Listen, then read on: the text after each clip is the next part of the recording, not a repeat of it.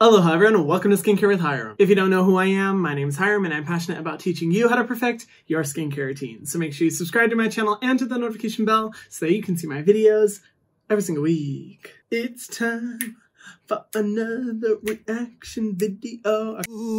Yeah. Hallelujah. Hallelujah. Ooh. There's a reason why I don't sing and I shouldn't, yet I still do. Sorry about a little bit of the redness around the brows. I just got them done after like five months. I don't know why it took me so long to get them done. I was letting them grow out like a wilderness. But they're finally done. They look clean, but the redness is still there after last night, so we deal with it. What are we gonna do? In today's video, I'm going to be reacting to Peyton List's skincare routine. Or uh, is it Peyton? Peyton? Peyton? Peyton? Peyton? Peyton?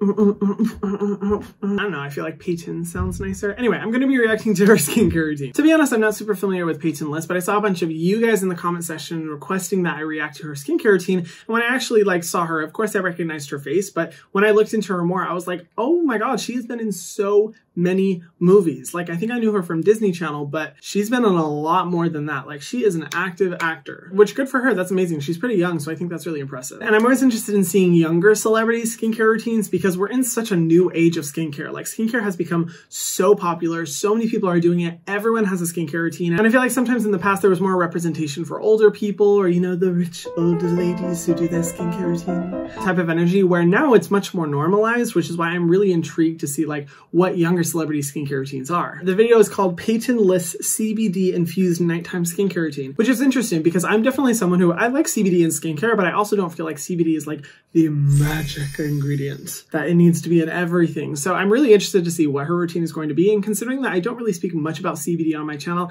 I thought this would be a fun opportunity just to see what comes about. So let's get into it. As we get into this video, I want to say I've partnered up with Nate to do a giveaway for you guys. Woo woo! And not just any giveaway. There will be 101 winners. Yes, 100 and one. 101. 100 winners will be getting one of my favorite skincare products, and one lucky winner will be getting an entire list of my favorite skincare products. Here's how. If you aren't familiar with Nate, they are an awesome new iOS app that's changing the game in online shopping. You can kind of think of it as a Pinterest mood board meets online shopping. You can save items from any website, create lists and share them with friends, and send gifts with those items over text. I partnered up with Nate to create three different lists, my morning, afternoon, and nighttime skincare routines. And if you're a lucky winner, you can win all the products in those lists. And here's how you enter to win. All you have to do is download the Nate app, follow one or all of my lists by February 15th. And that's it. That's literally all you have to do. To download it and follow my list, go to the link in my description box below. You can see my current nighttime skincare routine with some of my favorite products like the Skin Fix Lipid Peptide Cream or the Shani Darden Retinol Serum, one of my new favorites, which is not cheap. And like I said, there will be 100 winners who win one of the products from my list, and one lucky winner will be winning all of the products from all my lists. So make sure you download the app for a chance to win, and thank you so much, Nate, for partnering with me on this. I don't think I've ever partnered on a giveaway this big, so thank you so much, Nate, for being this generous. All right, let's move on to the video. If you don't know me, I've worked as a specialist, but I'm not a licensed esthetician or a dermatologist, nor do I ever claim to be. That's not my path, my journey, for right now anyway. So if you are having any concerns with your skin, please go see your esthetician or dermatologist to get that shit treated. I make these videos just for fun and for information's sake and just to share my personal opinions about skincare, and it's in no way meant to be intended as professional or medical advice. Hi, I'm Peyton List. Oh my and god. This is my nighttime skincare She is routine. stunning. Oh my god, she glows. Wow, she's so beautiful. I mean, of course, she looks beautiful all the time. the bathroom wow. that is my dressing room on set, and I just finished working, so I thought I would use it to my full advantage. It's very fancy in here. First She's off, cute. I like her. this is the toothbrush I've been using. It's a compostable bamboo toothbrush by Bite, Mm. and it came with these champagne toothpaste bites. Oh, cute. Which are pretty yummy. Also, you don't use plastic; it's glass. Not Love that she's focused on sustainability. You know, I've really wanted to get into bamboo toothbrushes, but I brush so vigorously that I really need to use gentle, gentle, gentle bristles. And most bamboo bristles I found are not very gentle. So if you guys do have any recommendations, let me know because I love sustainable options for brushing your teeth. I also have been wanting to try those little toothpaste bits that come in a glass jar. If you guys have tried them, let me know because I would be totally interested in trying them out. But I think it's already so cool that she's focused on sustainability. I am liking this so far. Wow, her skin is I'm gonna start off with gorgeous. My Derma Wow. Skin Oh, Distress okay. CBD cleanser.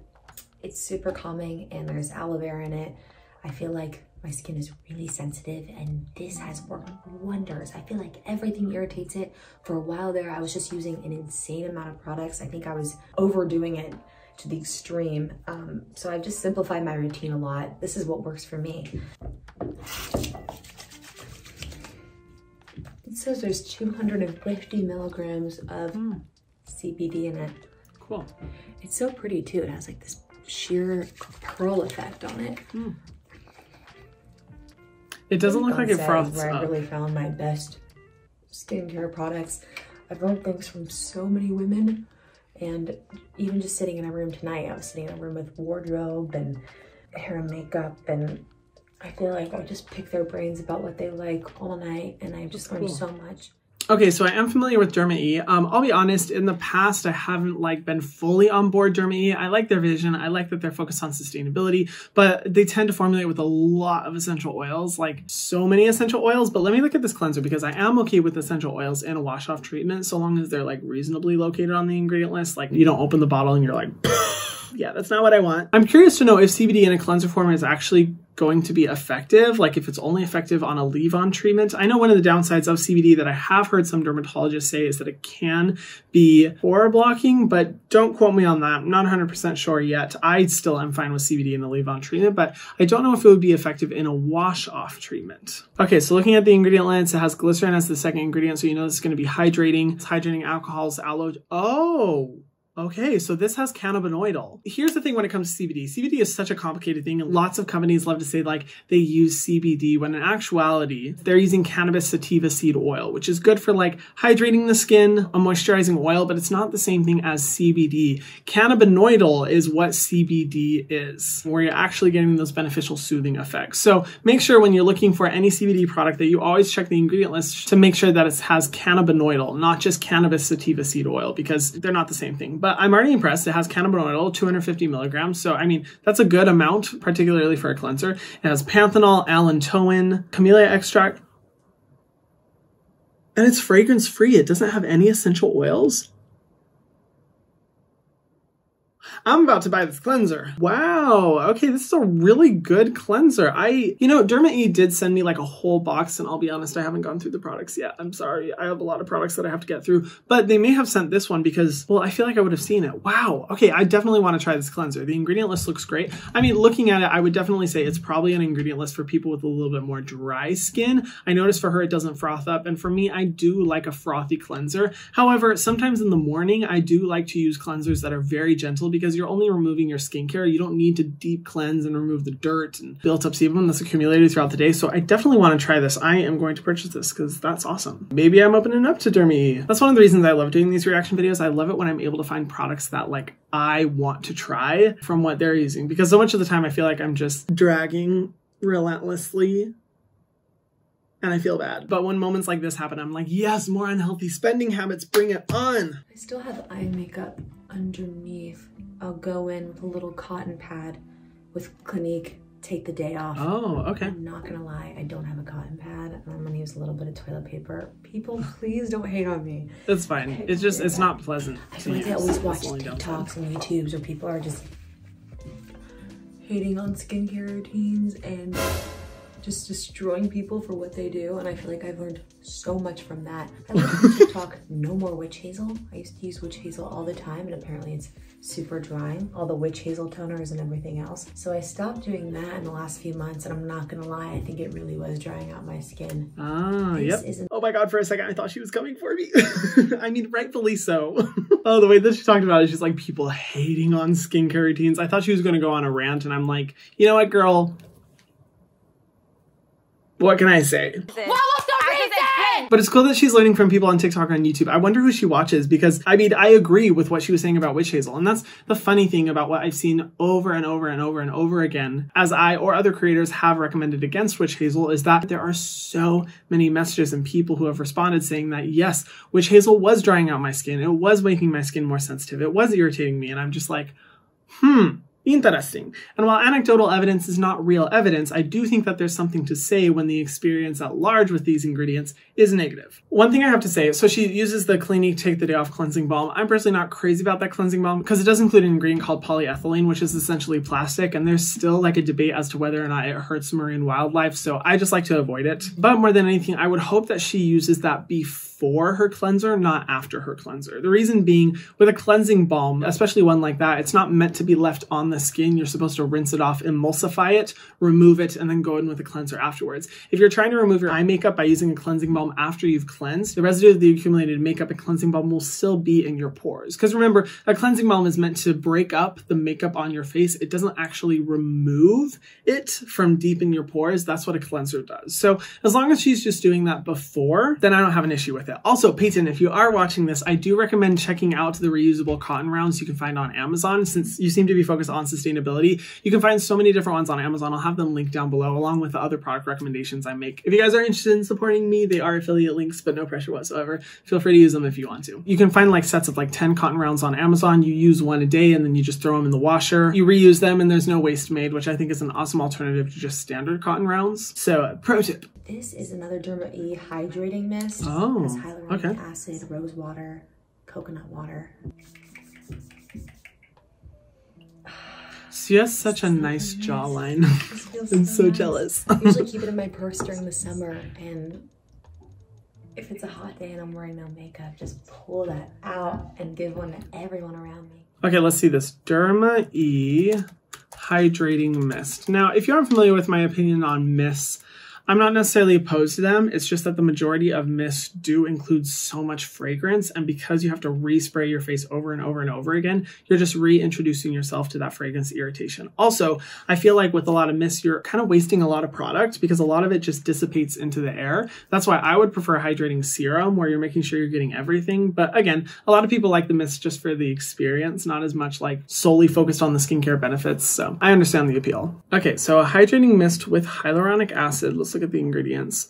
Okay, so it has glycerin, it has rose water, which if you want to know my opinion on rose water, I don't think it's like amazing, but I think it's fine. And I think there are benefits to it and it's fine to use in a formula. There's coconut water. There is witch hazel extract, but you know what? It's paired with glycerin and hyaluronic acid and coconut water and rose water. So the likelihood that it's going to dry out her skin, I don't think is very likely. So it's probably fine. It has vitamin C, it has panthenol, it has green tea. I mean, it has a lot of ingredients. Oh, okay. Yes. Like my main issue with Derma E, they have it listed on the ingredient list natural fragrance oils.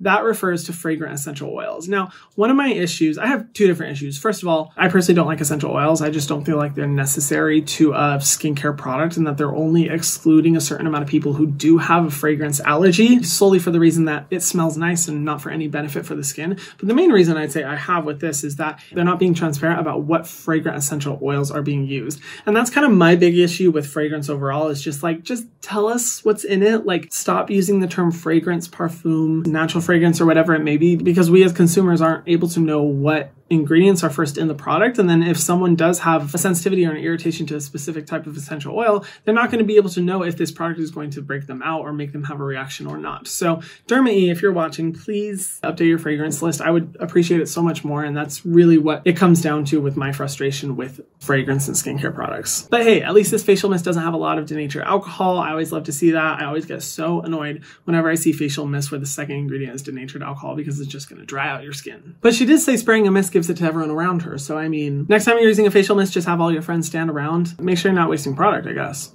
My lips get crazy dry, especially on set. I feel like I'm always Same.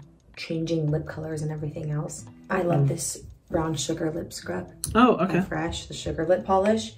So I'll just take a little bit and someone just uh, showed me a trick yesterday. If you take a toothbrush, you can scrub your lips Yeah, you um, can. of all the dry skin. So that's way to do it. And then I'll just rinse it off. I also love the Dior uh, lip scrub. It's in a lipstick. So you don't even need a rinse or anything. That's my go-to for the day. That one's expensive. I'm familiar with that one. Here's the thing when it comes to lip scrubs. I don't think they're necessarily bad. I don't think that they're the best things ever. But I would recommend like a sugar scrub as opposed to a toothbrush just because sugar does break down with water. So you're going to make sure you're not over exfoliating your lips. And with a toothbrush, it's just you know, it's fibers that aren't going to break down. So it's really easy to be overly rough. So if anything, just use a lip scrub. That's a fine option to use, but you don't need to buy Dior.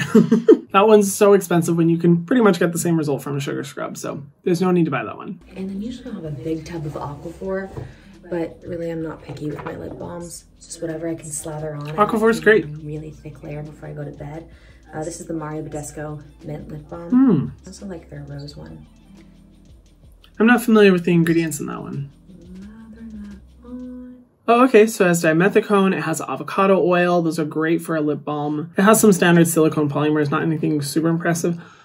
Whew, okay. Wow. Fragrance is way up on the ingredient list. Like that is at the top of the ingredient list. And it does have some good like hydrating oils and antioxidant rich oils afterwards, but they're all after fragrance. I mean, here's the thing. I'm okay with fragrance in the lip. I, wow, I didn't realize we were going to talk about fragrance so much in this video. I'm so sorry. I'm okay with fragrance in the lip treatment because in reality, the foods you expose your lips to have concentrations way higher of the irritating components than most lip products do. However, I'm never a fan of seeing that companies formulate with more fragrance or undisclosed fragrance at a higher concentration than the beneficial oils or ingredients that they use. If fragrance was at the bottom of this ingredient list, I'd be like, okay, you know, I'm more open minded to it. Or at least if they disclosed what fragrance ingredients they used instead of just fragrance parfum, I would have had a little bit more respect for it. And while the order of an ingredient list doesn't, doesn't necessarily tell you anything, like technically anything under the 1% line can be listed in whatever order it wants to be, but it's never a good sign to me when I see that fragrance is up at the top of the ingredient list because that's just not a good sign. If you are looking for a lip balm recommendation, I mean, if it works for you, like she said, Aquaphor is great. I think it's an awesome product. It sometimes works for me, but to be honest, the one that works really, really well for me is the Primera Clean Berry Lip Mask. That one is pretty much the only one I found that actually really works well and has a very innovative ingredient list. So I recommend that one instead. Okay, next these Moss Morning Sleep Peel Pads. They're Oh. hydrating and they're also exfoliating. They have hyaluronic acid. They are so nice. I used to get um, facials from Rosette, who created these. Oh, cool. And she's just a great human, and also she made a really great product. And they are biodegradable and Cool. super gentle on the skin. Um, they also smell amazing. I feel like I just have started It's not a to good sign. add neck care into my routine. I'm really trying to do the whole anti-aging. So, just for reference, I'm a huge believer in taking care of your neck, but sometimes using an exfoliating peel on your neck can be really, really harsh and you'll see some extreme reactions. So, just be aware out there, you don't always need to exfoliate your neck in the same way that you do your face. Like, I can't with mine. My neck is so sensitive, I can't do that. Uh, let me look at this ingredient list Rosette Morning Peel. Okay, so it has glycolic acid, it has lactic acid, propanediol. Oh, it has marshmallow root extract. I love marshmallow. That's actually in this moisturizer right here, which if you guys didn't know, I did a kit with Kinship featuring my favorite products from them where proceeds go to help protecting the oceans. If you want to learn more about it, it's in my description box below. But marshmallow extract is in that product and I don't see it in very many products, so I like that it's in this one. It has hyaluronic acid. Oh. I don't see fragrance. Oh wow, it also has mandelic acid, lactic acid, ascorbic acid. Wow, so this is loaded. I don't see fragrance. Oh, you know what it probably is? Marshmallow extract has a natural aroma to it. That's why this product is fragrance free, but it does have this very specific type of aroma, and that's probably why it smells good. Okay, gotcha. It's the marshmallow extract. Okay, cool. Um, yeah, I mean this this ingredient list looks great. The only thing is that I'm personally not a fan of peel products that do include like a wipe or something that is disposable. Touching on something real quick, and this is not to drag her at all. Um, this is something that I just recently learned as well. Just because something is biodegradable does not mean that if you just put it in nature or throw it out, it'll naturally biodegrade. Sometimes, and I'm not saying that this is the case for this product, it's just the case a lot of times, a material can technically be biodegradable when properly processed at a biodegradable facility. And there's not many biodegradable facilities in the US. And depending on what type of material, it may only be able to be biodegradable in very few locations. And what can happen is that companies can technically say that their material is biodegradable when in reality there's only one location in the nation, two locations in the nation that can actually process that. Which means that even though it's biodegradable, it's not likely that those will reach that facility, which means that they're just pretty much regular waste. So just something to be aware of. That's why when I see biodegradable, I'm like, oh great, but that doesn't necessarily mean that like it's amazing. The best way to go is just products that don't create any waste beyond the packaging. But overall, this ingredient list is good. But to the benefit of this one, this is probably one of the only, if not the only facial peel I've seen that doesn't include fragrant extracts or fragrant components. That's impressive. That's very impressive. So I kind of want to try it. it's a little expensive. It's $32 for 12 peels, but I mean, it looks like a cool product. So for my breakouts, this AccuClear Purifying Lotion by Oh. DMK, I think this is my favorite product I use on my skin just Okay. It really does clear up breakouts. I had terrible acne on my chin and everything. Really? Else. I always tried to hide it. I would never Um, guess. Never really, Wow. I took off my makeup. I don't think I would have been brave enough to do this video um, a year ago. But since doing the routine that I do now, That's so I have felt so much more confident. It's Wow. actually makes me emotional.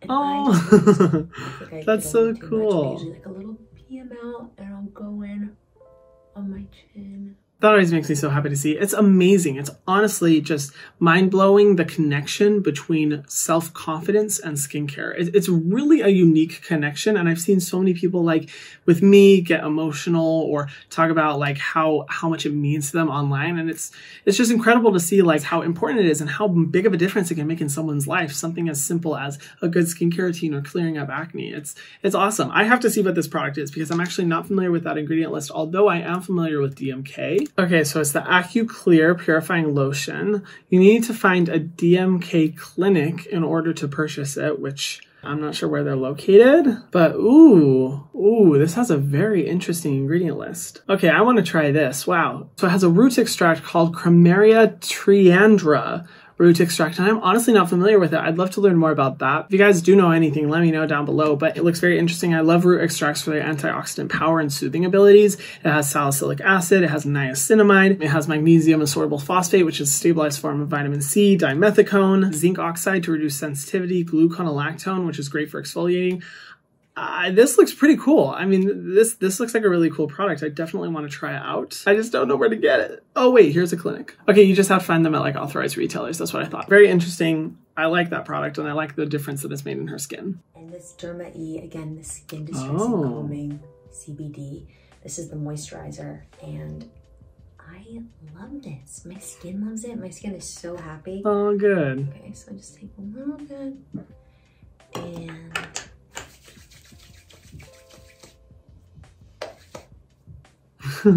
I love how she applies thing it. I have to say that has saved my skin is just to stop picking. I used to pick and it used to be my favorite thing. I love watching Dr. Pimple Popper videos and all of it. Yeah. The more I picked, I'm just not a professional, and the more the bacteria would just spread underneath. I Yep. feel like if I have a breakout now, I just try to treat it and, and let it sit. And if I Good. need to go get it taken care of, I'll go get extractions. And I'm not going to use this tonight. A makeup artist that I just work with, it's called Zippity Doodab. It's a spot treatment for big pimples. So if I had one, I would put it on. But I really love this stuff. And that is my nighttime skincare routine. Oh, she's Thank so cute. Derma E CBD moisturizer. I'm gonna hope and cross my fingers that this one's also free of essential oils. Let's hope, let's hope, let's hope. Hey, it is! Woo! And it's formulated with cannabidiol, jojoba oil, panthenol, allantoin. Very similar ingredients. Wow, this product looks awesome. I'm definitely going to be trying both of those because that looks amazing. Wow, Dermy, I'm very impressed. I really hope you're starting to up your selection of products without essential oils. It's amazing. Well, what are my thoughts? First of all, I think she's adorable. She's super cute. I like her energy. She's very chill. She's very relaxed. Beautiful skin. Oh my gosh. And she seems to know a pretty good amount about skincare. I mean, she says that she watches TikToks and YouTube videos about it. She knew that previously she used to overdo it with skincare products, which is a symptom most people have when first getting into the skincare world. We all want to try so many products out, not realizing that it's actually not great for our skin and that a simple minimalistic routine is the best thing to go with. She covered her basics. She got her makeup remover, her cleansing in. She's exfoliating and she's moisturizing. That's all you need for a nighttime routine. And overall, I have to say, looking at the products that she was using, their ingredient list, I think it was a really good routine. Like the only product with fragrance that I know of is that hydrating mist. The rest of them are really focused on soothing sensitivity and irritation, which I think is great, particularly for someone with as fair as skin as her. I would love to know what sunscreen she's using because her skin, I could, ugh, I could just imagine how quickly it would get sun damage. So the fact that she's really focused on soothing the skin is amazing. I think that's perfect. But what do you guys think of this? Let me know in the comment section down below. Also, let me know who you think I should react to next. I always love doing these reaction videos and seeing what celebrity skincare routine is next. So just let me know if you guys do want me to see any more. And if you haven't already, be sure to subscribe to my channel and hit the notification bell so that you can see my videos every single week. And I'll see you guys in the next one. Mwah.